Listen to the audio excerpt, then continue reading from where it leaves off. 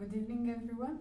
Thank you for coming, everyone here live, everyone on the stream. Uh, I will be presenting the third, uh, let's say, third part of the first script of the music titled Music for an Imaginary Film, uh, uh, my own composition. Uh, what I have to say to this composition is basically that the title is intended for the listeners to create a sort of a framework for listening. Uh, as I said yesterday, if that is something the listeners could ever consider consider as possible.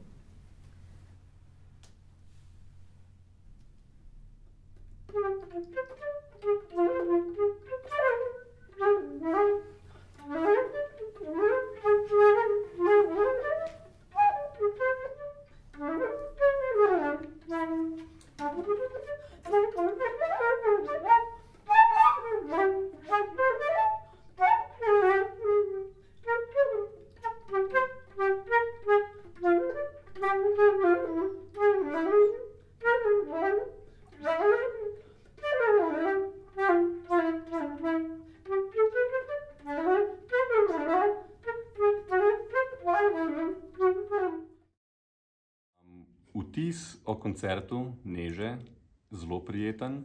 Um, nasploh imam rad tako, ne bi rekel freestyle, ampak free glasbo, ki ni nek konstanten žanr, vsaj v mojem lajčnem uh, pogledu, ampak je zelo tako razprostrto. Začne se zelo dinamično, pol se malo umiri, pol še kakšne nekonvencionalne stvari noter, tako da super. Najbolj memorable, no mogoče ne najbolj memorable, ampak zelo tak zanimiv dodatek v koncertu so te uh, feriji zadnji. Gledaš, poslušaš koncert in pa pride ogromna ladja, ki gre sam mim, um, tako lepo počasi, pa malo doda zvoka. Ne vem, se to sliši na live streamu, ampak uh, nasploh pa full fine, jaz zelo uživam v takih zadevah, tako da se me bo še videl.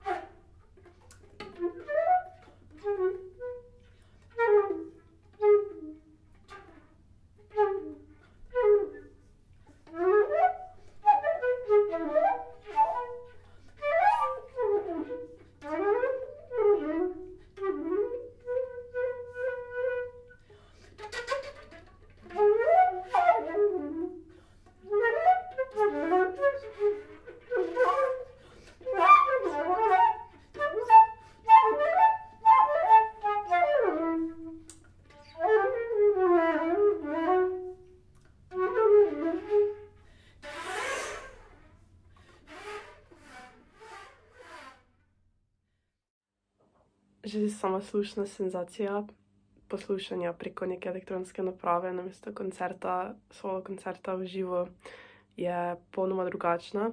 In glede na avtoričino navodilo na začetku, se je bilo kljub tem drugačnim zvokom in nekim novim doživetjem bilo zelo lahko potopiti v skladbo samo.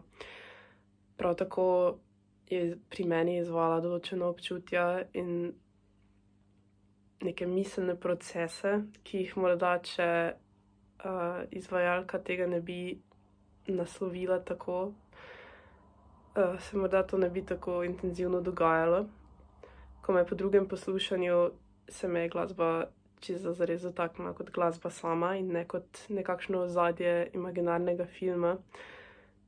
Tako da je naslov popolnoma primeren in tudi efekt se je v tej skladbi izrazil tako, kot si je avtorica to zamislila.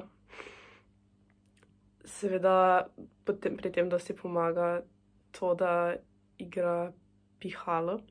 In sicer, po mojem mnenju, zaradi tega, ker so fraze potem tako dolge kot človeški dah, oziroma samo tako dolge, koliko jih ona lahko fizično spravi iz sebe, kar veliko pomaga tudi pri našem miselnem toku, oziroma vsaj pri mojem miselnem toku.